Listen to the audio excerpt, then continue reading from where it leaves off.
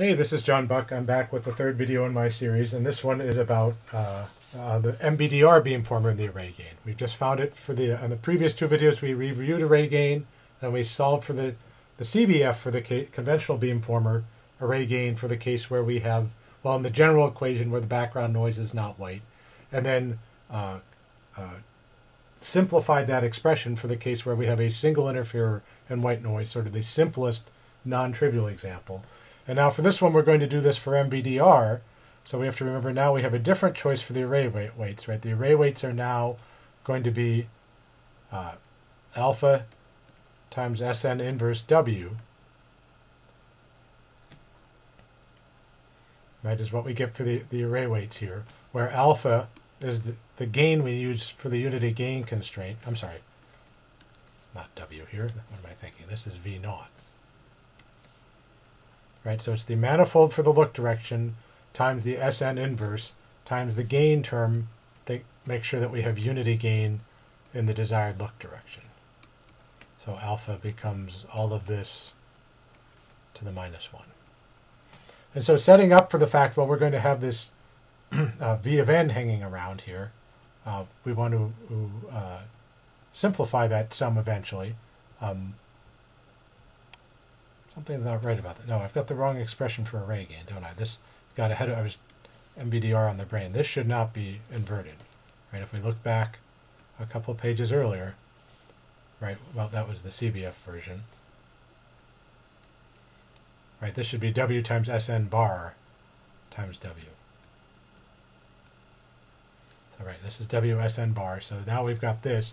So sort of planning ahead, it would be nice to put alpha and W in terms of SN bar, which isn't too hard to do if we actually plug alpha in and remember that uh, we've got Sn is equal to sigma naught squared times Sn bar, right? This is the sort of power scaling and this is the spatial structure. So if I take the inverse of both sides, I can do that easily because sigma naught squared is just a scalar, right? A, a, a one by one number. So Sn inverse is equal to sigma naught squared inverse Sn bar inverse.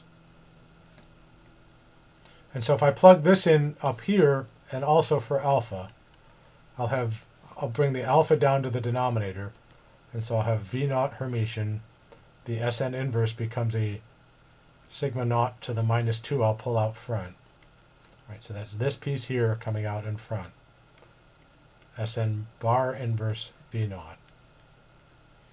And then on the up above, I have an Sn inverse, so that also becomes this. So I have another sigma naught squared times Sn bar inverse times V naught. So again, I've plugged this in here and also within alpha and brought it in. And what happens is these sigma naught squareds cancel out, which sort of makes sense, right? It says if I scale this matrix by a constant, as if, I'm scaling this matrix by a constant, and it appears in the numerator and denominator, those constants are going to cancel out because if I if I've rescaled it uh, in the numerator, I won't need. I can also rescale the unity gain part, and I'll be left with something like this: V naught Hermitian Sn bar inverse V naught or we could write this just to sort of be a little fancy. We could call this alpha bar, which is the version using SN bar. Right, so if I think of it that way, then this becomes alpha bar times SN bar inverse. Oh, stupid drawing program, stop that.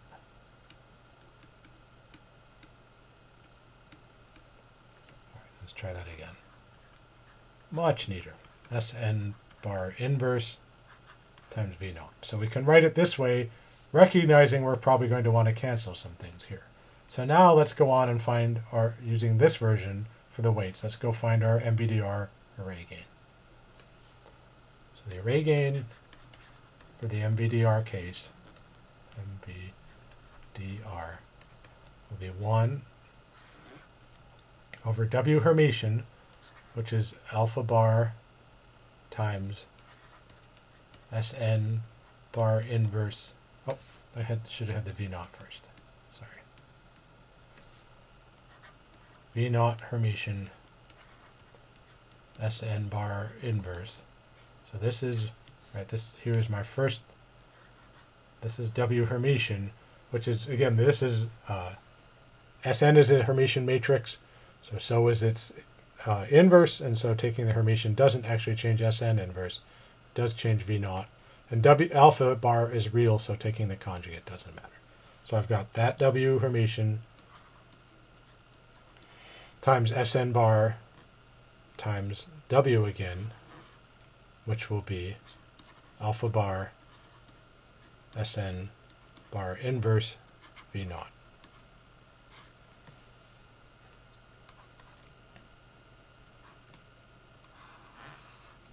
Just 1 over, pull the alpha bar squareds out front.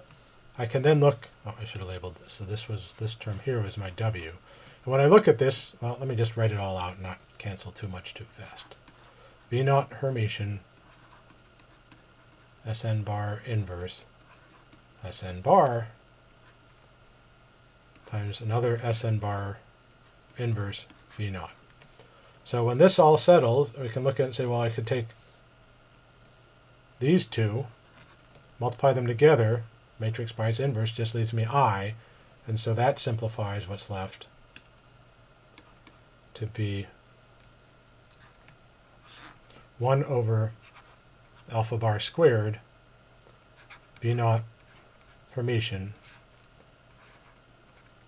Sn bar inverse, right? That's this term here surviving times V naught. And now we can go back and say, oh, but this, if I look on the previous page, is this term here is just 1 over alpha. Right? Uh, alpha bar. So here's my alpha bar. And so this thing here is 1 over it. So this is alpha bar to the minus 1 right here. And so I'm left with just 1 over alpha bar, which is equal to uh, V naught Hermitian Sn inverse times V naught. So my array gain now takes a, a slightly different form. This is all upstairs again, remember, because alpha was 1 over it. Right? If I went back here, alpha bar is 1 over this thing, so 1 over alpha, I just get this up in the numerator. Right, so this is my, my form here. Uh, in general for the MVDR that I'll have V naught times this uh, times uh, the normalized spatial covariance matrix times V naught. So now that's the general expression. Let's look at our example.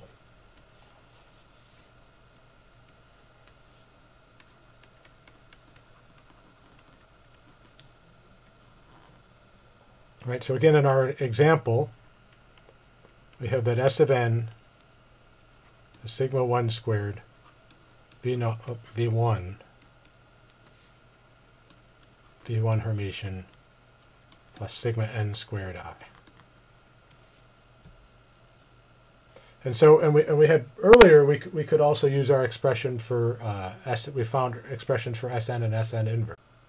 Right, last week, when we looked at the generalized side lobe canceller, we had this formula here. We saw that the inverse of Sn would be uh, sigma n squared to the minus 2i minus this.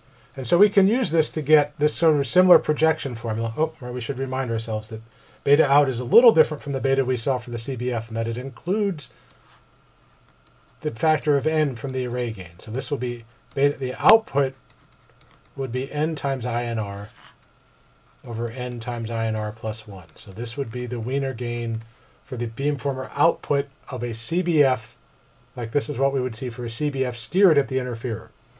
Right, so this is, again, different than the beta in we saw without the factor of n's a minute ago. But in this form here, I can now use some factors to clean this up. Right, we saw earlier we can write things like this, right, as, as Sn inverse is equal to sigma naught uh, to the minus 2, right, 1 over the, the power here times S bar to the minus 1. And so I can move this to the other side and get that the Sn bar inverse I'm after is sigma naught squared times Sn to the minus 1. And so if I, if I solve for this by putting the sigma naught squared up here and, and rearrange the terms, I'll get this term here. And now I say, oh, but I can also plug in for this in this case, I know for this specific example that I can write sigma naught squared as sigma 1 squared over sigma, sigma n squared.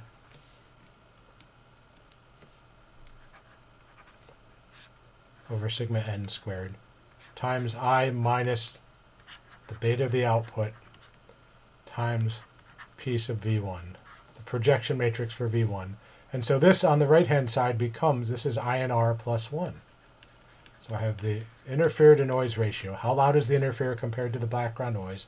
Plus 1 times I minus the output Wiener gain times the projection matrix for the interferer.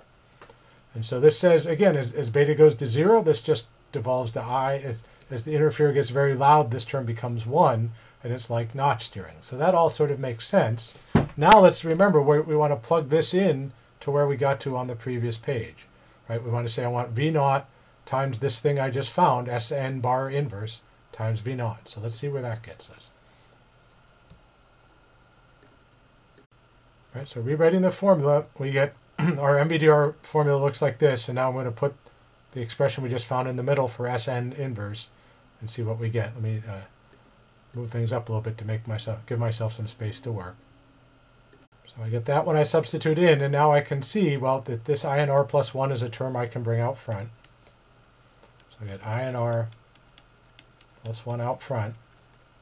And then this becomes V naught Hermitian V naught. Well, that's magnitude of V naught squared minus the output beta times V naught Hermitian times the projection matrix for V1 times V naught.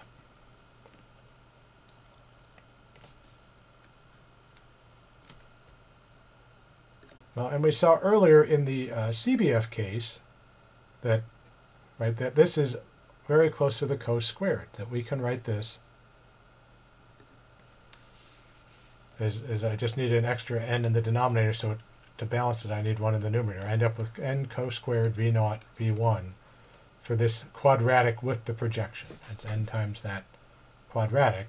And so, and, and this term here for a plane wave is n also. So if I write that to simplify things, I get INR plus 1 uh, times the uh, Is that right?